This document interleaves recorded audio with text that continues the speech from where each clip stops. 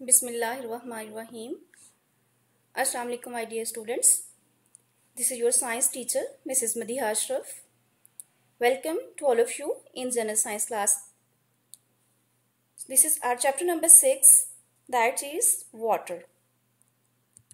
In our previous lecture, we have discussed the importance of water and water cycle. Let's recap our previous lecture. I'll ask you some questions. You have to answer, write it down in your lecture copy. The question number one is In our environment,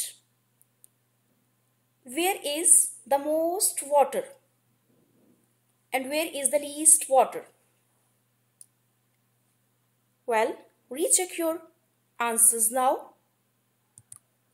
Most of the water in our environment is present in seas and oceans. And how much? It is 97%.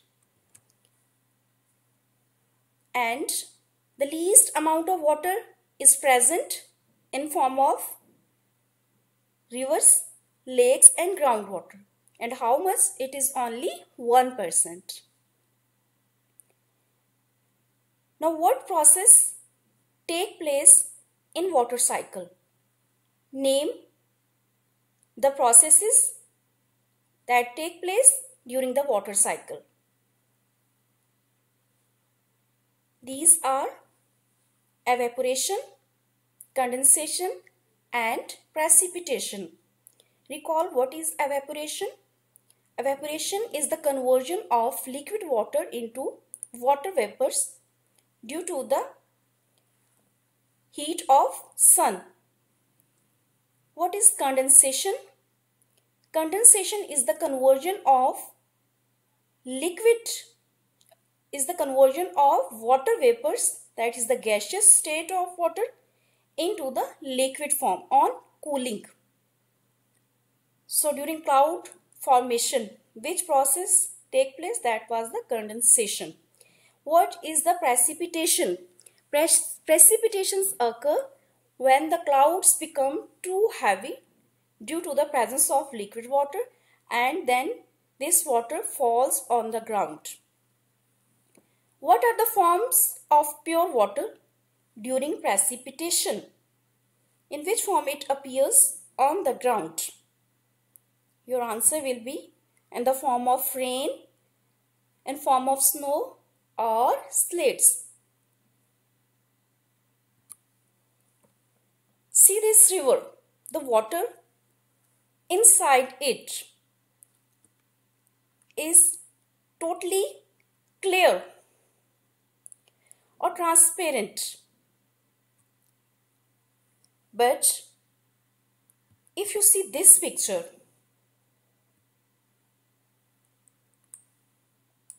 you can see the dirty water with lot of garbage here. If I'll ask you to choose a river for usage of water, which one will you prefer? Of course, this one. The crystal clear water that is free from any garbage or dirt. Who causes this polluted water or dirty or garbage? Who throw the garbage in this? Some human activities are responsible for this polluted or dirty water. See the picture number one. What is happening in this one? In this picture, the litter or the rubbish is directly thrown into the water bodies. If you notice here, what is happening? The washing of the clothes, the water is directly thrown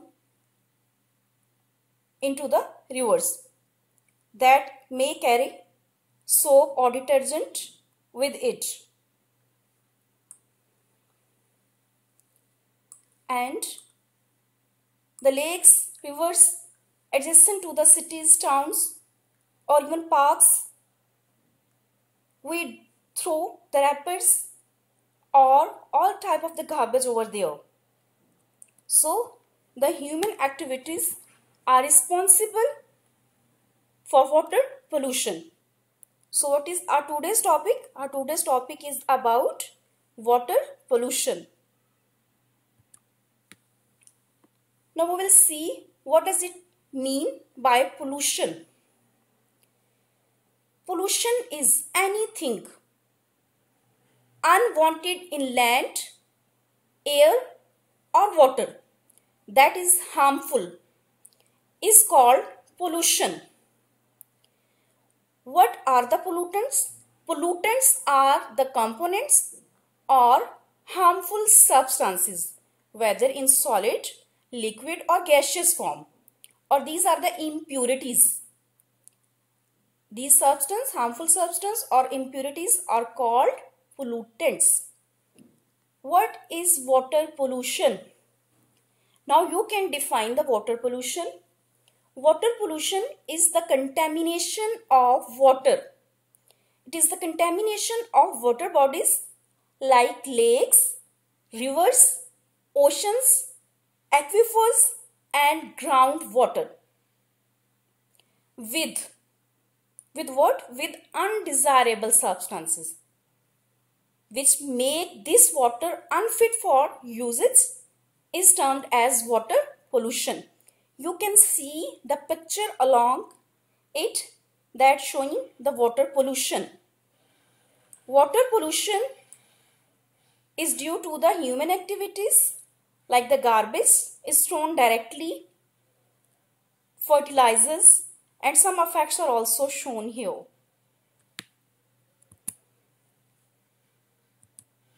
Now we will see the causes of river or water pollution in this picture.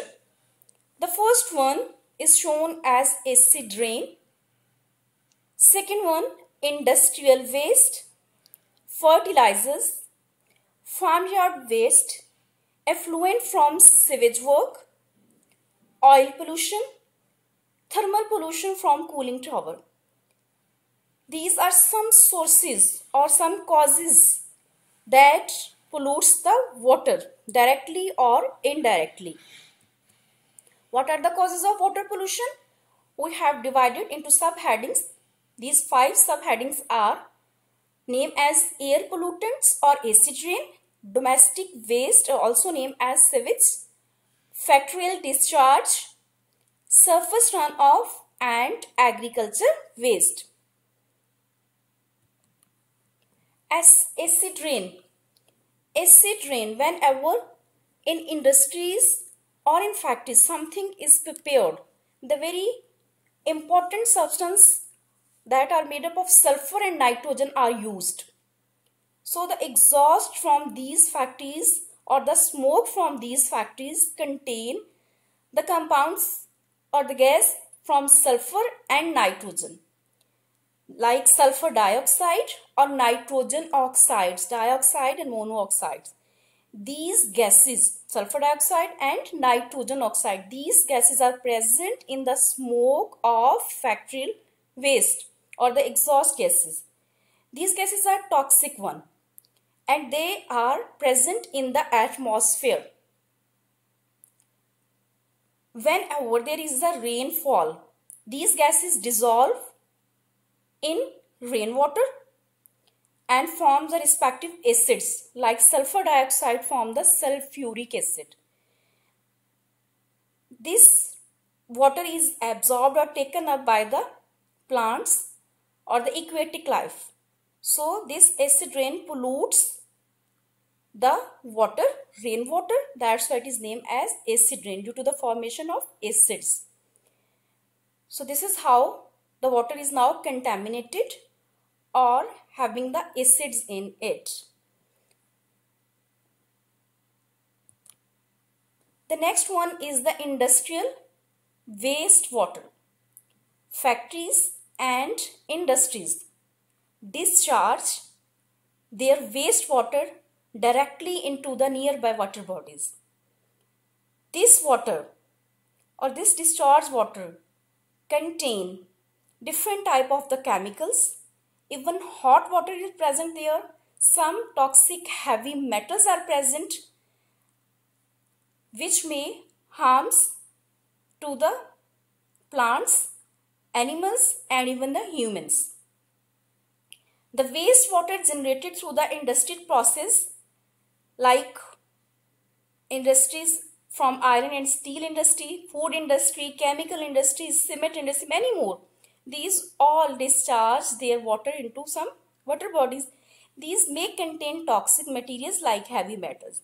When the waste water or the waste stream mix up with the natural water bodies, so they also become the polluted and this polluted water may harm the life of plants, animals and even humans.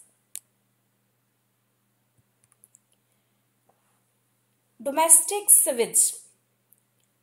The waste water after the household activities also thrown into the nearby water bodies.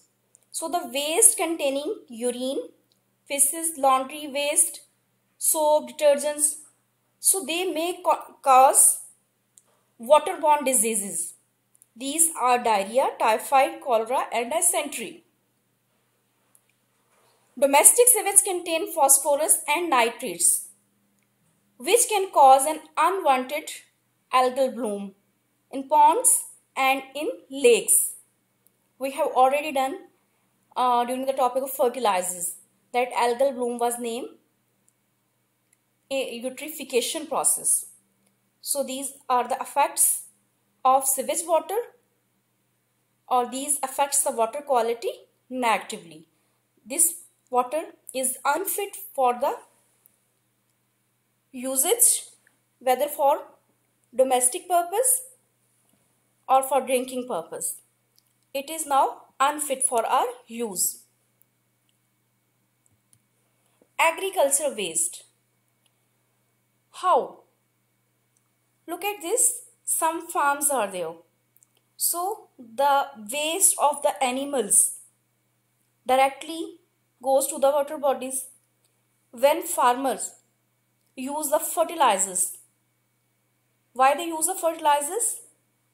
To give or to get the maximum yield of their crops.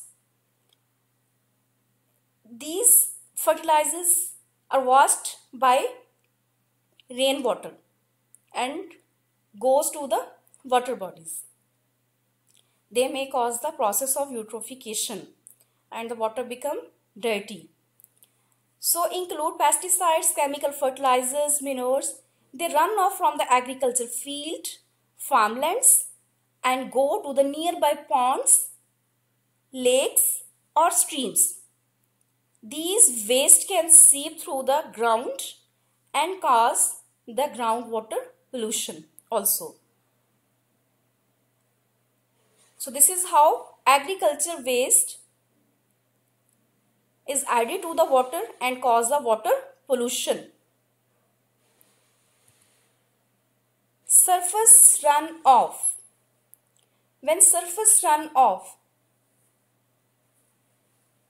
after the heavy rainfall or during flood, then water carries sand, dirt, silt, minerals or fertilizers along with it. And eventually it reaches to the sea. So surface runoff, what it carry with it? The water carries the minerals, fertilizers, silt, dirt, sand along with it and reaches to the seas and cause the pollution in the seas.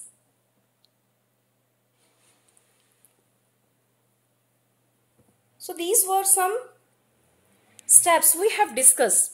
There are many more we can list up but we have divided them into the few steps. General steps. Water pollution becomes a very serious problem. We should be careful. We should stop those activities which are causing the water pollution or that harms or affects the human lives and also the life of the aquatic organisms. How we can stop or how we can minimize the water pollution. Water pollution preventions, some steps can be taken like sewage treatment. The water can be treated in a way that cleans the dirt from it and make it fit for domestic use that is named as the sewage treatment. We will discuss the sewage treatment in our next class. Number two, prevent the river water to get polluted. Whenever you go to parks or some other recreational activities you perform, then try to uh, stop the things into the don't throw the rubbish or the litter into the water bodies or the river or the lakes adjacent to that area. Routine cleaning is shown here that water bodies should be cleaned thoroughly after some time. Self-hygiene is there. Avoid boats that use the harmful fuels like you may have uh, listened about the oil spread during some accidents oil tankers the water become oily. So they may cause the death of the fish and other aquatic life. Similarly another activity is shown here. Keep the nearby pond water clean and safe. Like uh, the person in the rural area use them for their animals cleaning. Now we can list up the causes of water pollution. Septic tanks. Animal junk farming. Pesticides. Water table. Industrial waste. Household waste. Wastewater, nuclear waste, oil pollution, oils, many more of the points are there which you can add. You can add by yourself also. But major process or the major uh, steps we have discussed. The causes of water pollution.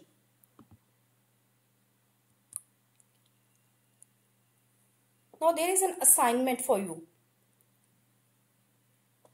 we have divided the areas to urban and the rural areas. Both causing the water pollution. Now imagine both one. That what is the difference in both areas? And you can mark out some of the differences. How you can mark out the differences? Like uh, factories are built up in the urban areas while these are rare in the rural areas. Farmlands agriculture work where these activities are done in urban or the rural areas in rural areas. Similarly you can also point out uh, the sewage water sewage water containing this substance from urban areas and sewage water coming from the rural areas they contain which type of the substance. So uh, general points are there which you have to mark out for the water pollution. These are caused by with the reference to the points we have discussed these were sewage, industrial, agriculture, acid or uh, pollutant in the air. uh, this assignment you have to solve this one on your rough copy and uh, what we have to try now individually that we should try to minimize the water pollution because water is the God's valuable gift. So we should try to minimize the water pollution. That is uh, the end of our today's lesson. You have to prepare the lecture well and also note it down on your lecture copy. Then relevant questions are also given on page number 78. You have to try to solve them by your own and uh, in next class I will give you the hint about that test yourself. Till that, Allah Hafiz class. Thank you. Have a nice day.